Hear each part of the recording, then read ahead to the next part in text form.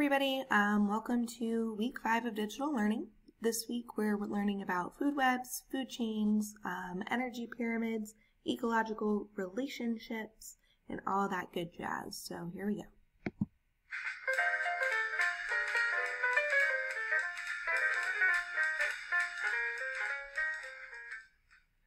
When we were little, we loved nature shows.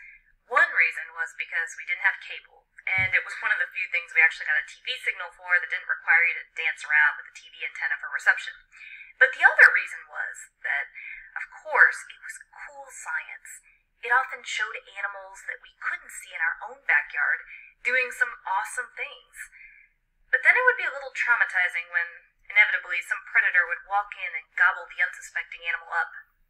Truly, action scenes with predators and prey are often shown in nature shows because it's all part of nature's food chains.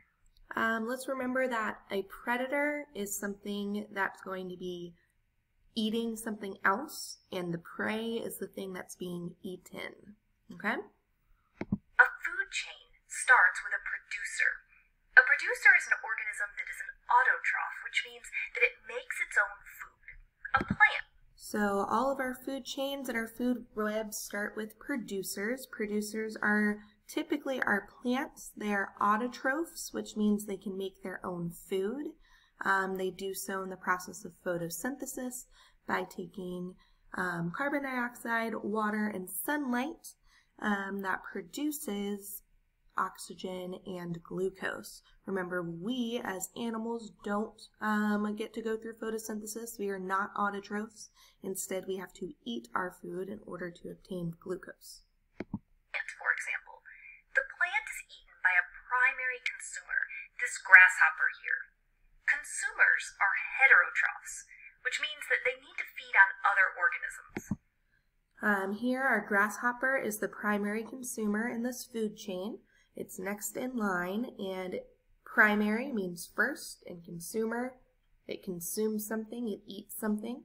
These are our heterotrophs, and heterotrophs are organisms that cannot produce their own glucose via photosynthesis. Therefore, they have to eat. So we are heterotrophs just like the grasshopper. The primary consumer is eaten by a secondary consumer, this frog. The secondary consumer is eaten by a tertiary consumer, this snake. So if we look at this food chain here, notice that it goes in one line and is one chain. It starts with the producer, goes to the primary consumer, the secondary consumer, and then the tertiary consumer.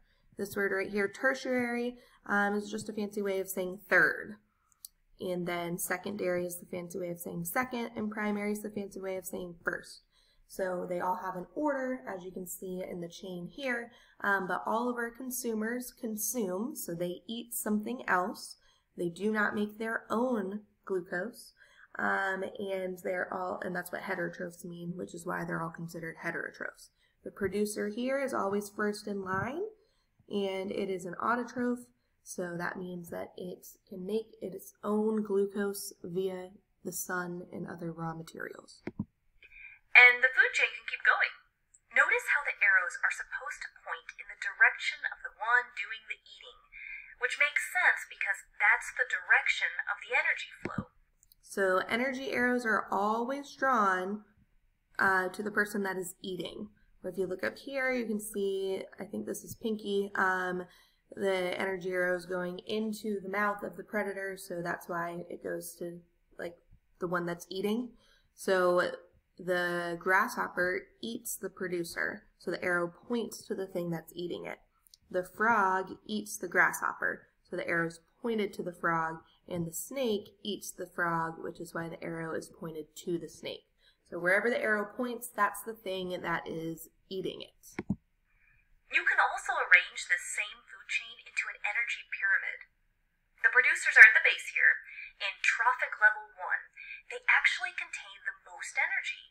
What is crazy to think about is the primary consumers here, in trophic level 2, they actually only store 10% of the energy from the producers.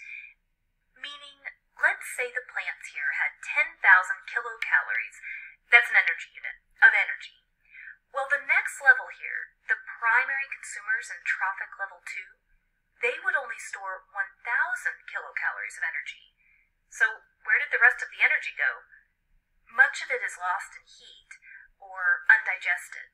If you go up to the secondary consumers, so before they talk about the other layers of this pyramid, um, so this is the energy pyramid It's just another way to display um, the transfer of energy, just like a food chain. You can see that this is our first level, and this is all of our producers, things that are autotrophs, can make their own glucose via photosynthesis.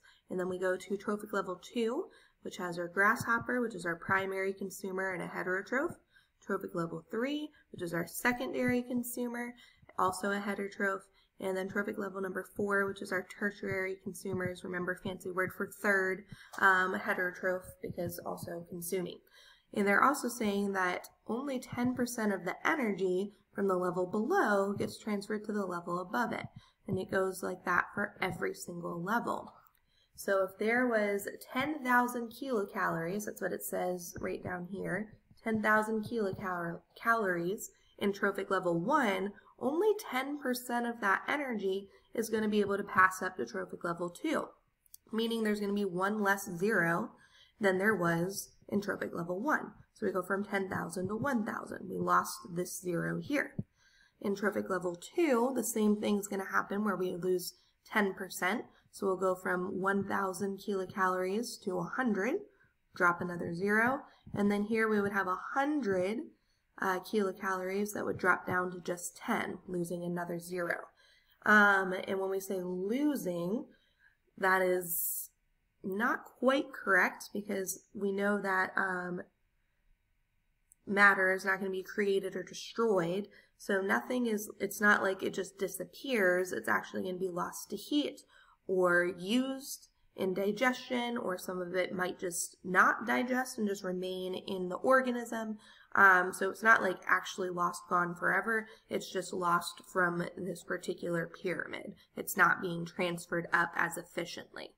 So notice that you've got to have a lot of kilocalories in trophic level 1 to get just a few, 10, up in trophic level number 4. So that's why there are so many more producers in plants than there are um, organisms in, or like uh, grasshoppers, consumers, frogs, snakes, whatever um, in the world. So in trophic level 3, that would be only 100 kilocalories of energy. So as you go up each trophic level, it's roughly only 10% of the energy from the trophic level below that will be stored. Back to our food chain. Notice that, like a domino effect, if something is removed, let's say the grasshoppers, you can harm the others because they might not have enough to eat. You really have to consider the relationships among organisms in a food chain.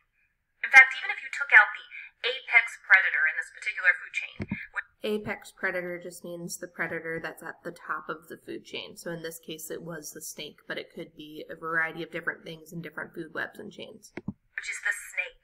You could end up with an excessive population of frogs, and so many frogs that it's possible they wouldn't have enough grasshoppers to even support them. So every um, population and ecosystem has something called a carrying capacity. And a carrying capacity is something um, Basically, it's the number that a particular environment can hold of something. So in this food chain, if we take away the snakes, that takes away the predator for the frogs and then they can reproduce kind of rapidly and kind of take over. But at some point there will be a limit on how many frogs can exist and that would be our carrying capacity uh, because there aren't enough grasshoppers for those frogs to eat. So everything in the food chain is like a domino effect and affects each other. You know, this is actually not a very good model because in real life, this snake probably doesn't just eat frogs. It probably eats rabbits, birds too, because an ecosystem doesn't typically have a single food chain. Instead, it has more of a food web. A food web is made up of multiple food chains that interact together. So notice how now we have multiple food chains here tied in with our original to make a food web. The beauty of a food web is that it shows more interactions among a variety of producers.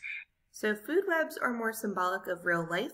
um, because a chain is just singular and linear. You can see the food web here is very interconnected. We now have three producers or things that are autotrophs and make their own glucose, and we now have five consumers, the grasshopper being our primary, um, the bird and the bunny, and, well, actually, if I follow this right, okay, the bunny is actually a primary consumer as well. It only eats from the plants.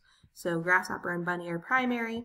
Um, secondary would be both our bird and our frog because they eat the primary consumers, and then tertiary we still just have the snake because he eats the secondary consumers. But this is more, much more symbolic of real life. And various level consumers.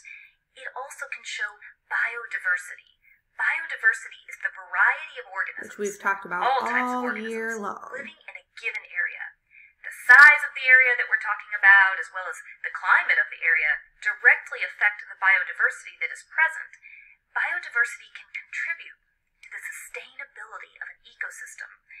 What I mean by that is, let's say there was a decrease in the amount of small birds in this food web. Well, it's likely that will be harmful to other organisms. However, it is not the only thing that the snakes feed on. They have other options because of the biodiversity. The snakes also eat rabbits and they eat frogs. So because of this biodiversity, the ecosystem might be more resilient to changes such as these. And so this is another super important thing about biodiversity. We've talked about biodiversity and genetic variability and how it's so important for particular organisms to have diversity within themselves, like specific species. But even in a food chain and a food web, it's good too, because now you saw on our food chain here um, that the snake actually had more than just one option. So if the bird population decreased, the snakes would probably still be able to survive because of the frog and the bunny. So this is another way by why biodiversity is just so, so important in life. And possibly recover. However, these changes can still have detrimental effects, and it's why it's critical to protect ecosystem biodiversity. High biodiversity has a lot of other benefits, they can include economics, and we'll need another video to really touch on all the benefits of high biodiversity. So, if we were to ask you which of our examples here had more biodiversity, our food chain here or our food web, you would definitely want to pick the food web. One last thing. There are some organisms that we left out of our food webs and food chains, but they're kind of a big deal. Decomposers. Decomposers are heterotrophs since they do eat other things, even if the things they're eating are dead. Decomposers include organisms like bacteria and fungus. Technically, if we were to draw them in, then every arrow here would eventually point to them.